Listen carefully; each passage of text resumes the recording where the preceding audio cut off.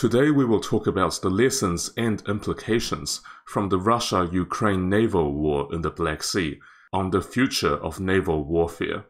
Keep in mind the conflict is still ongoing, so further developments that will be of significance may still happen, and we don't know what these will be as of yet. And it is entirely possible that in the future, naval experts will look back at everything we have said and consider them all wrong. So, with these caveats in mind, let's get started. A bit of background. Ever since the start of the conflict, the vast majority of the Ukrainian fleet has been either scuttled by themselves or were sunk. And the Russian Navy has been and remains in control of most of the Black Sea. But Ukraine has effectively denied the Russian fleet access to a significant part of the Black Sea, especially that near Odessa. Through the effective use of land based anti ship missiles, naval mines, and drones. Furthermore, Russian naval reinforcements to the Black Sea have been limited due to Turkey's closure of the straits. That said, the Russians have been able to bring in a trickle of reinforcements using the internal waterways of inland Russia. However, only smaller Russian naval vessels can traverse the inland waterways, the rivers, and the canals. Major warships were barred from entering the Black Sea almost since the start of the conflict. The Russian Navy's main mission are strikes against inland Ukrainian targets, blockade the port of Odessa, and threaten amphibious landings. So, the first lesson I want to home in on is that land based anti ship missiles pose a real threat to large warships. And in the future, we may very well see land based missile systems deter a superior fleet from entering within range of these coastal weapons. Using coastal anti ship missiles to engage hostile warships is a long held idea. It is one that was championed by the Soviet Navy in the Black Sea and the Baltic Sea during the Cold War, and more recently has been adopted by the People's Liberation Army Rocket Force to hold at bay the superior carrier based navy of the United States and its Western allies. The Ukraine war showed the advantages of the strategy in an asymmetric setting. Land based anti ship missiles are affordable compared to the warships they target, for example, big cruisers and aircraft carriers. These missile systems are mobile because they can be mounted in a truck chassis they are also easily concealed, for example inside bunkers or natural vegetation. There were clear examples of both anti ship cruise missiles and anti ship ballistic missiles being used effectively, either to sink enemy warships or to deter them from coming too close to the coastline, where they can bombard coastal targets using their shorter range weaponry, for example, naval guns. So we all know what happened to the Russian cruiser Moskva. It was sunk in April 2022. Ukraine claimed to have hit the Moskva with two Neptune anti-ship cruise missiles. These are subsonic anti-ship missiles, itself a derivative of the Soviet-Russian Kh-35 cruise missile. The Moskva sunk later after it was damaged while under tow on the way back to Crimea. According to the Russians, the sinking of the Moskva was caused by an ammunition explosion on board the ship during a storm. However, after the incident, Russian warships started to operate noticeably much further away from the Ukrainian coastline. The actual behavior of the Russians following the incident gives, in my view, some hints as to what actually happened. So, in my opinion, this lends credibility to the claim the Moskva was sunk by anti ship missiles. US intelligence admitted to providing info on the Moskva's location prior to her sinking. So it is entirely possible that Ukraine used this intel to acquire the targeting info to sink the Moskva although a senior Ukrainian official tacitly noted that a TB 2 aerial drone was used to distract the air defenses of the Moskva, likely providing the targeting info for the land based weapons. On paper, two Neptune missiles probably shouldn't have been enough to sink the Moskva, given that the warship has a triple layered air defense system. It has long range SAM missiles, short to medium range air defense missiles, and several close in weapon systems, the AK 630s. Now, Western commentators pointed to the alleged poor maintenance of the warship and inadequate training for the crew as reasons why the actual air defense capabilities of the Moskva fell short of her on paper capabilities. I am not necessarily disputing that, but what I see is, in an actual naval battle, a lot can go wrong and warships are becoming more vulnerable to anti ship missiles than ever before. And it is certainly not just the Moskva that was sunk by anti ship missiles. In June 2022, the Russian tugboat, the Vasily Bek, was sunk near Snake Island while resupplying the garrison. The vessel was sunk by two Harpoon anti ship missiles supplied to Ukraine by the Western powers. Russia has since relinquished the island because its naval presence on the island was clearly becoming untenable, incurring additional losses by the day.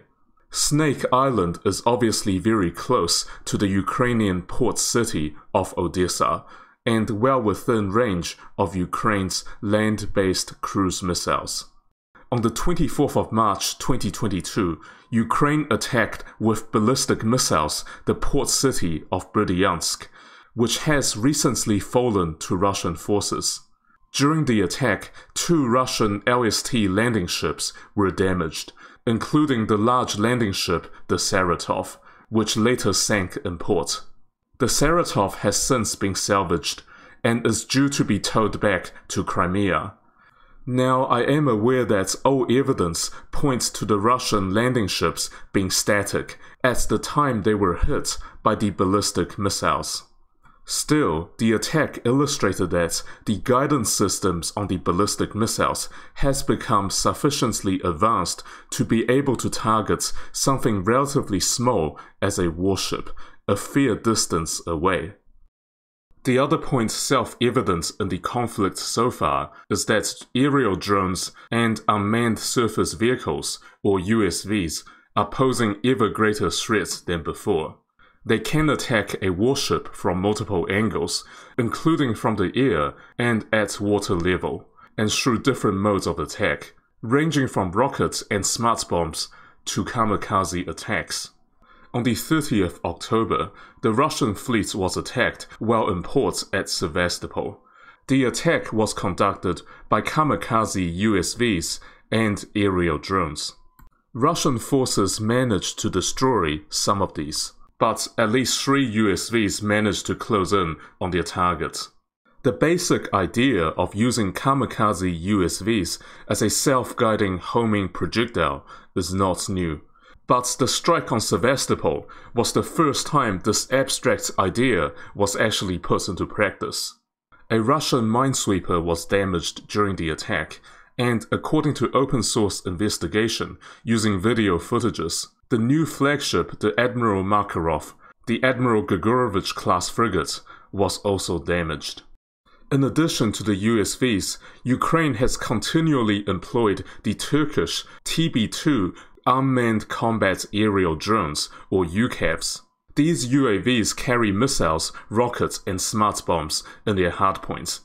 Throughout the naval war, the TB2 drones have targeted Russian patrol boats and landing ships and have destroyed several of these.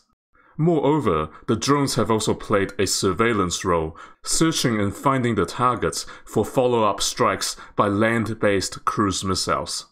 So the naval war in the Black Sea increasingly illustrated the growing importance of unmanned aerial and surface vehicles. The availability of surveillance drones and other recon assets leads me to my next point that large warships at sea are becoming increasingly easy to find, especially in close littoral waters.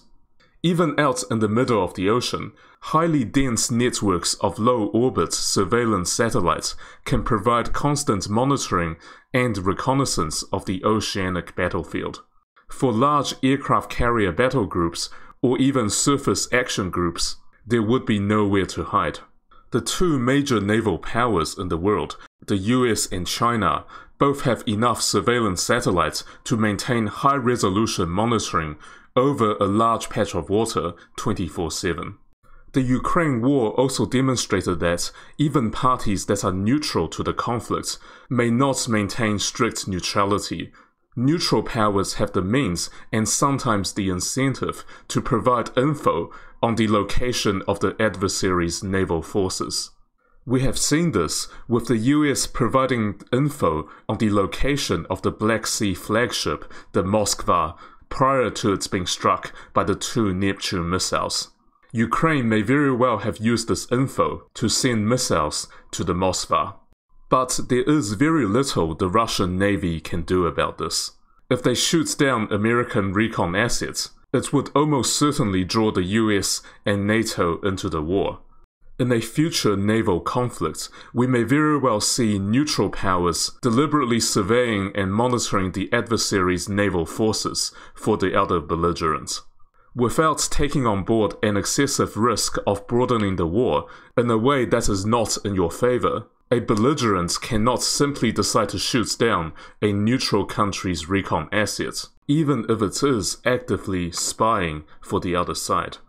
My overall point is that the oceanic battlefield is getting smaller, and it is becoming very easy to find large warships at sea. This is due to developments in recon assets, including low orbit satellite networks, as well as surveillance by third party neutral actors. Everything we've covered so far points to one thing that big and expensive complex warships are increasingly becoming very vulnerable. The developments of the major navies over the past couple of decades, including for both the Chinese Navy and the US Navy, have been heading towards larger, fewer, and more expensive ships. These include aircraft carriers and large Aegis air warfare destroyers. Even the Japanese Maritime Self Defense Force is considering building 20,000 ton anti ballistic missile defense warships. The Russo Ukraine naval war in the Black Sea demonstrated that these ships are potentially very cheap to counter. A modern air warfare ship can plausibly be sunk by anti ship missiles, a tiny fraction of the cost of the warship. I know that theoretically, the air defense warship should be able to defend itself against a couple of incoming missiles. But self evidently, as the war has shown, in a real naval battle, a lot of things may easily not go according to plan, leading to a high risk of the ship going down.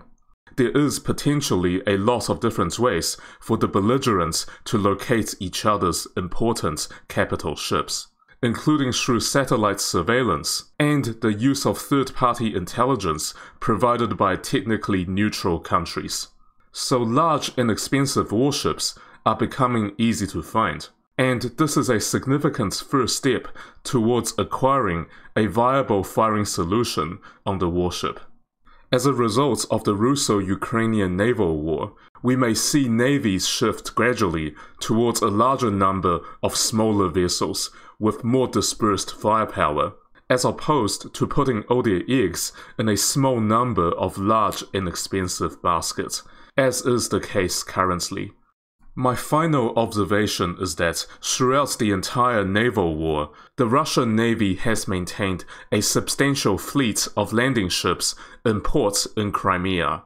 These continue to pose a theoretical amphibious threat to Ukrainian port cities like Odessa and Mykolaiv. The threat of Russian amphibious landings is probably more real early on in the conflict, when Russia had the reserves to actually make such a landing operation in theory. At this point in the war, Russian reserves are largely already committed and new troops being mobilized will take some time to train and prepare before they can become combat ready. Nevertheless, the naval war in the Black Sea illustrated that an amphibious fleet in being is a viable concept in tying down the resources of the defending forces, forcing them to deploy troops in port cities to anticipate a possible amphibious landing. This means less Ukrainian troops that can be deployed elsewhere. I would actually go as far to say that the threat of an amphibious landing is actually more effective than an actual opposed landing. Because unless you have a huge superiority in shore bombardment capabilities, it is very, very difficult to land light infantry and light amphibious armored vehicles into the teeth of the heavy armor and heavy artillery of the defending forces. Therefore, an implied amphibious threat is in many ways more powerful psychologically in provoking a response from the opponent in trying to defend against all the possible avenues of attack. The war in Ukraine is continuing, with no clear end in sight. Over time, we may see more tactics and technology employed in the naval war in the Black Sea to inform future naval warfare we may see navies shifting gradually from a small number of large and powerful surface combatants to a larger number of smaller warships with more dispersed firepower and ease of concealment. Thanks for watching. If you like my video, please press the like button and subscribe if you haven't done so already.